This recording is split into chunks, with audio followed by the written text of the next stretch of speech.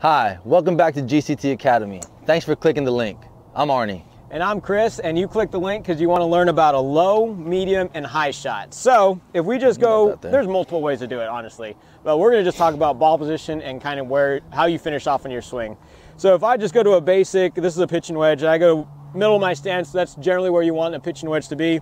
And I pick it up, this is about 48 degrees of loft. Now if I just move it back about two or three inches back of my stance, now I've actually de-lofted the club to about 38, 37 degrees. So that's naturally going to get the ball flight lower. And then if I put the ball in front of my stance, now I'm actually going up to about a 55, 54 degree loft. So if I have to hit over a tree, under a tree, you can use your seven iron, four iron, you can kind of play around with it. But just by moving your ball position to the back and front of your stance, you can change your trajectory that way. Arnie's going to talk about the actual swing. Yeah. So as Chris just talked about, ball position is going to have a big influence in how the ball takes off. So when we're talking about the ball being in the back of our stance, our intent is to keep the ball low.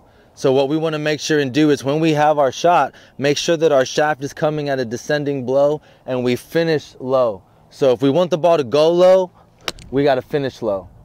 Same thing with the opposite way. I think I might have got Chris there. A little. That's all right. Then gave him a little car wash right there. But at this point, when we have the ball in the front, now we want the ball to go up in the air. If we want the ball to go high, we got to finish hot.